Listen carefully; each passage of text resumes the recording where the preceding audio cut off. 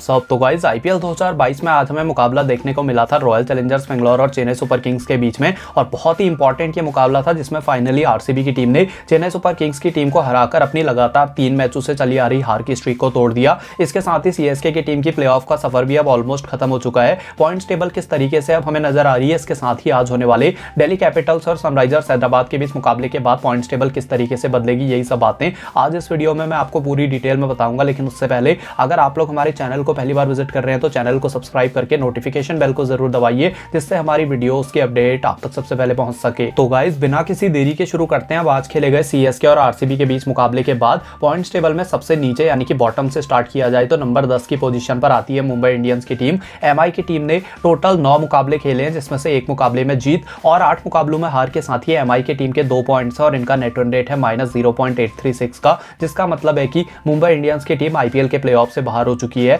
इनसे ऊपर points table में नंबर नौ की पोजीशन पर आज का मुकाबला हारने के बावजूद चेन्नई सुपर किंग्स की टीम बनी हुई है, जहाँ पर सीएसके की टीम ने टोटल दस मुकाबले खेले हैं। तीन मुकाबलों में जीत और सात मुकाबलों में हार के साथ ही सीएसके की टीम के छह पॉइंट्स और इनका नेट रन रेट है माइनस ज़ीरो पॉइंट फोर का। अब अगर चेन्नई सुपर किंग्स की टीम को प्ले में जाना है तो अपने बचे हुए चारों के चारों मैचेस जीतने के साथ ही इनको बाकी सारी इक्वेशन पर भी बहुत ज़्यादा डिपेंडेंट रहना पड़ेगा। और आप लोग मान सकते हो कि ऑलमोस्ट सीएसके की टीम भी प्ले से बाहर ही है। इनसे ऊपर पॉइंट्स टेबल में नंबर आठ की पोजीशन पर आती है कोलकाता। नाइट राइडर्स की टीम के की टीम ने दस मुकाबले खेले हैं, चार मुकाबलों में जीत और छह मुकाबलों में हार के साथ ही इस टीम के आठ पॉइंट्स है और इनका नेट रन रेट है plus zero point zero six zero का। इनसे ऊपर अब हम पॉइंट्स टेबल में चलते हैं मिड की पोजिशन की तरफ़ और पॉइंट्स टेबल में हमें नंबर सात पर देखने को मिलती है डेली कैपिटल्स की टीम डीसी की टीम ने टोटल नौ मुकाबले अभी तक खेले हैं, जिसमें से चार मुकाबलों में जीत और पाँच मुकाबलों में हार के साथ ही दिल्ली की टीम के आठ पॉइंट्स हैं और इस टीम का नेट रन रेट चल रहा है plus zero point five eight seven का। इनसे ऊपर पॉइंट्स टेबल में नंबर सिक्स की पोजीशन पर आज के मुकाबले के बाद पंजाब किंग्स की टीम आ चुकी है।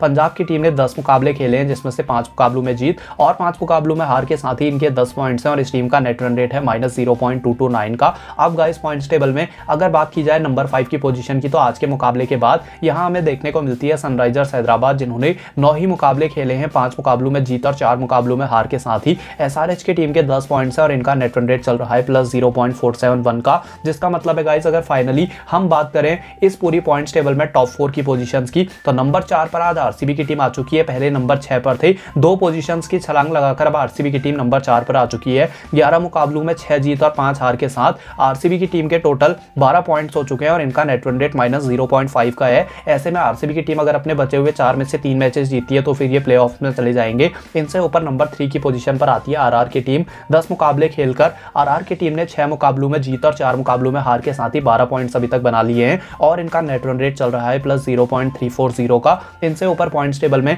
नंबर टू पर आती है लखनऊ सुपर जॉइंट्स की टीम जिन्होंने दस मुकाबले खेले हैं। सात मुकाबलों में जीत और तीन मुकाबलों में हार के साथ ही एल की टीम के टोटल चौदह पॉइंट्स और इनका नेट रन रेट है प्लस ज़ीरो का। जिसका मतलब है गाइस अगर हम फाइनली टेबल टॉपर्स की बात करें तो यहाँ पर आती है गुजरात टाइटन्स इन्होंने दस मुकाबले खेले हैं। आठ मुकाबलों में जीत और दो मुकाबलों में हार के साथ ही जीटी की टीम के सोलह पॉइंट्स है और इनका नेट रन रेट है प्लस ज़ीरो का। और ऑलमोस्ट ये प्ले के लिए क्वालिफाई कर चुके हैं। बहुत ही कम चांसेस है कम इक्वेशन है, जिसके दम पर ये आईपीएल से बाहर हो सकते हैं। आज हमें मुकाबला देखने को मिलने वाला है आईपीएल में डीसी और एसआरएच के बीच में। डीसी के लिए डू और डाई मुकाबला है। अगर यहाँ नहीं जीते तो फिर सारे मैचेस जीतने पड़ेंगे। एसआरएच अगर आज का मुकाबला जीतती है तो फिर ये टीम आरसीबी और आरआर दोनों को हटाकर नंबर थ्री की पोजीशन पर आ जाएगी। कमेंट करके आप लोग बताइए, आपके हिसाब से कौन सी चार टीमें जाएँगी प्ले में? इसके साथ ही वीडियो को लाइक करके चैनल को ज़रूर कीजिए सब्सक्राइब तो मैं मिलता हूँ आप लोगों से अपनी अगली वीडियो में। तब तक के लिए बाय बाय